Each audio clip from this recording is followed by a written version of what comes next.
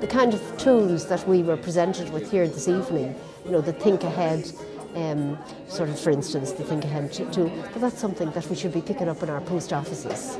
You know, in the same way that they have normalised making a will. I don't think it comes easy um, um, in our society um, to have these conversations. It's not something that we're used to doing, and I think we do need support and prompting. Firstly, I think you're really hearing from the person what their choices are at the end of life.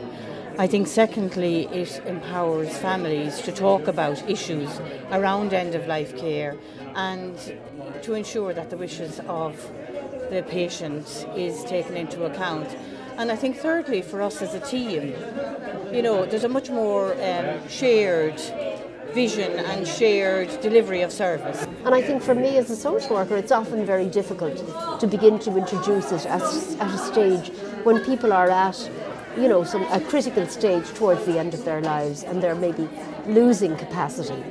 If it can be, if it could be normalised and sort of brought into our thinking and our planning at a much earlier stage in our lives, then it isn't so it isn't such a big it isn't such a big issue. Families who have um, had and started that conversation have an easier grieving journey. Now, grieving is never easy, but I think their journey is different because they've talked to their loved one about their wishes.